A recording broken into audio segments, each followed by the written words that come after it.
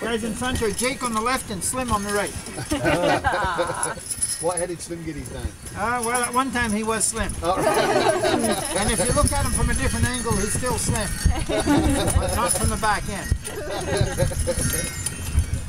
He's my spare horse. He's, he's a nine-year-old and he's not completely trained yet. He's done a few of these rides, but this year this is his uh, third night.